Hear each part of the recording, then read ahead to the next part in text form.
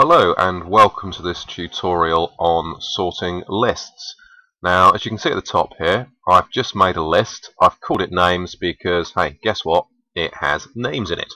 So always try and name a list or a variable um, something that makes sense. So if you've got a high scores list probably makes sense to call it high scores rather than X or Z. Makes your life a lot easier when you come back later and try and debug your code. So as it's a names list, I've called it names, but obviously you could choose something different. This is just a name for my list. So I've got the equal sign, that's vital. You need that to declare a list. And then open a square bracket, and I've got each of the names in speech marks because these are a variable type called string, which is just basically text. And between each name, I've got a comma. Again, that's important because that separates each of these into individual items within my list. And finally, I've closed the square bracket. Now, the sort function, you can use it just like I have here. You use the name of the list, so whatever you've called the list, you put that there. Then a full stop, a dot, then the word sort, and open and close brackets. And that in Python is brilliant because it will sort my list into alphabetical order with just that single line of code. How simple is that?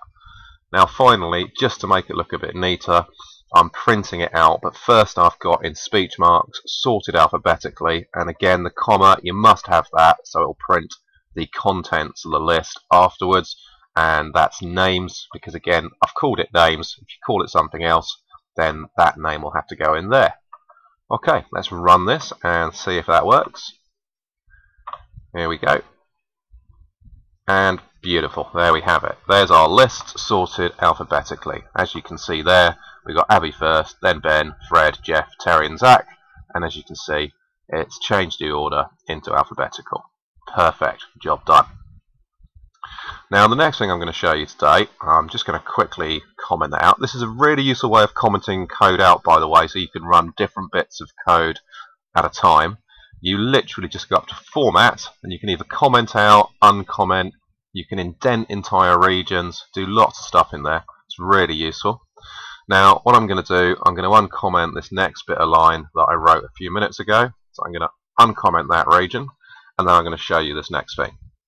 Now here I've got like a scores list, a list of scores. It could be high scores for a game, it could be student scores, perhaps for quizzes that they've taken. And again, I've set it equal, which you must have, so name of the list, the equal sign, open the square bracket. Now you'll notice this time I haven't used speech marks around these because I don't want these to be um, string variables. I don't want them to be stored as text.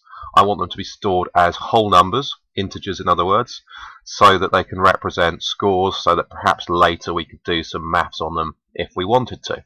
Again, each number, each student score is just separated out with a comma must have that between each score so they go in separately into our list. And as you can see they're not in any particular order okay? Then I got this brilliant little line of code here scores dot sort open and close bracket. Again notice it's exactly the same name as our list. That's important. We must have the same name here and here because we want to sort this particular list. And finally in a similar way to how I showed you I'm using the print statement sorted by uh, lowest to highest and then a comma and then the name of the list again. So if I run this now, you'll see what happens. And there we have it. So it's sorted now from lowest score up to the highest score. Now that's great, but sometimes you want to have the highest score first going down to the lowest. For example, if this was a high score table, well you don't want the lowest score at the top of the list, you want the highest score.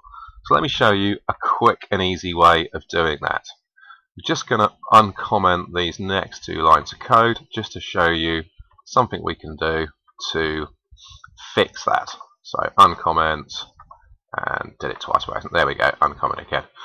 So this next line of code, scores dot reverse open and close brackets. What this will do, again in just one line of code, it will reverse the entire list. So this will now take it from being from lowest to highest to highest to lowest, which is exactly what we want. And again, I've just got a print line here to show you um, the contents of the list printing out. So let's run it. We can press F5 there if we want. We want to save time. here we go. So, sorted from lowest to highest. See, it's worked just like it did before. And now highest to lowest. So this would be great, for example, for a high scores table, or if you wanted to like show the student the highest score in the class first, that would do the job nicely. Brilliant.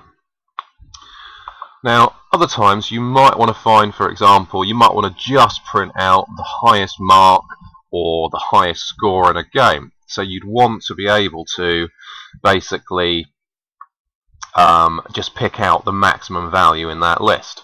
So I'll just comment out this little bit for the moment, just so all the prints don't confuse us. And I'll uncomment this next section. Here we go. Right, so what you can see here, I've got max value equals scores square bracket 0. Just going to uncomment that, just realised I'm going to need that. Now, what's going to happen here, it's going to go, go ahead, go to the list called scores, and it's going to print, it's going to save into a new variable we've called max value, whatever is in position 0 of the list.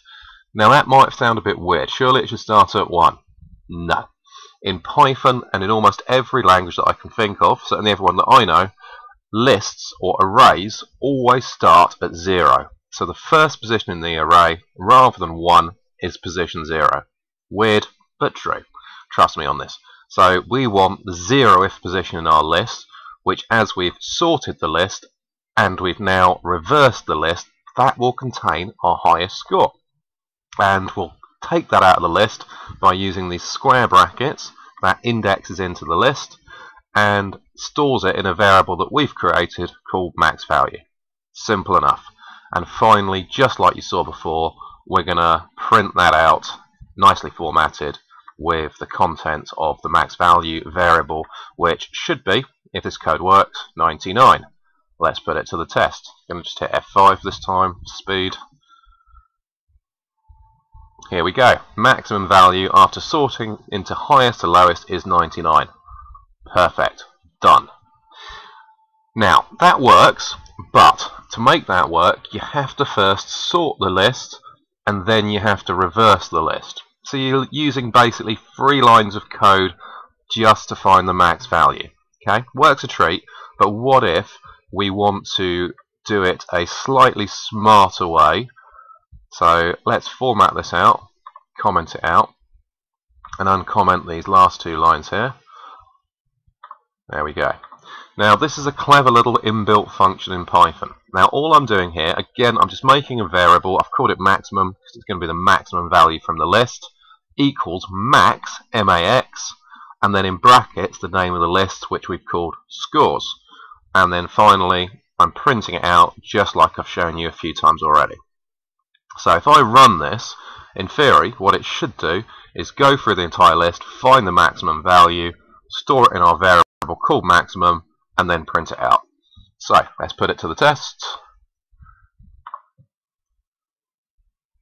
Bingo it's worked beautifully. It's found the highest value in the list, which is 99, as you can see here, and it's printed it out for us. So that is a lovely little one-liner for finding a maximum value.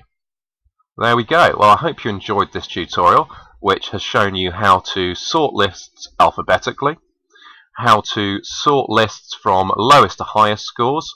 It's shown you how to sort from highest to lowest, and finally, it's shown you two different ways of finding the maximum value of a list, one after sorting and one without sorting.